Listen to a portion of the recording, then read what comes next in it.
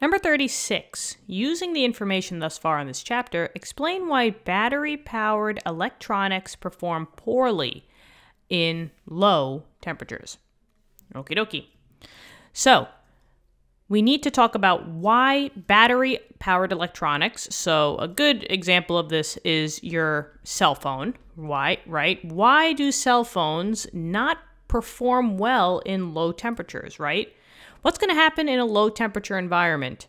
Now, long story short, this actually happened to me.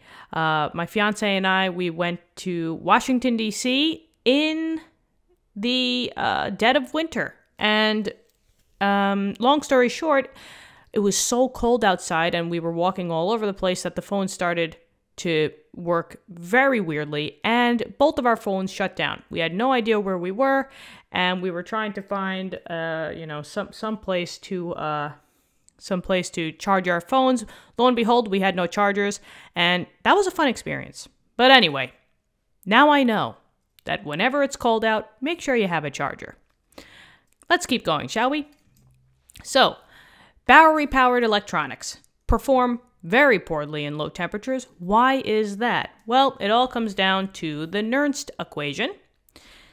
The E cell equals the standard cell potential minus RT divided by F times the ln of Q. Now, we don't have to solve anything here. We just have to relate your cell potential, and I'm highlighting this one because we're not talking about standard cell potential. This would be at room temperature. That's why it has this little notch here. This E cell is your cell potential of the battery inside your cell phone that's going to run uh, when it's really, really cold out, when you're not at room temperature. And the only other variable that we need is this temperature, right? Now it seems like if I just make this divided by 1 and I move this up a little bit, it looks like both the E cell and the temperature are both in the numerators of some sort, right?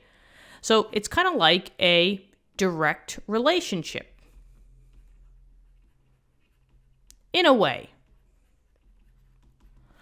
So that means if your temperature is going to go very, very high when you're in really, really hot temperatures outside, chances are your cell phone is going to say, mm, no, no, I got to cool down, right?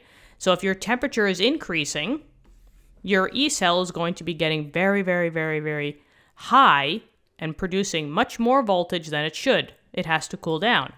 But on the flip side, if the temperature is dropping, what's going to happen to that E cell? Yeah, the E cell is going to drop.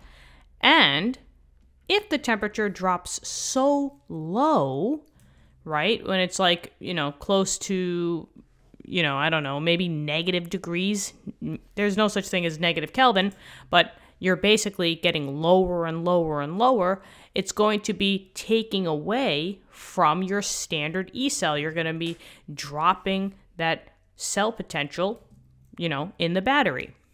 And just know that a dead battery, a dead battery always means that you have an E cell of zero, zero volts.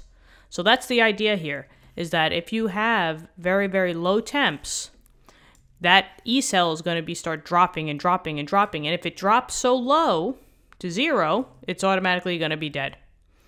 And that is why battery powered electronics, aka cell phones, perform very poorly in low temperatures because as you drop in temp, that E cell will drop. And if it's getting so low, you know, zero is the lowest it can go because then the battery's just going to die. And that's it. What'd you think? Hopefully this helped. Let me know in the comments. Subscribe to the channel, and I hope you all are having a great day out there. Let's keep studying hard. Good luck on those tests and quizzes, and I will talk to you soon. Okay, bye-bye.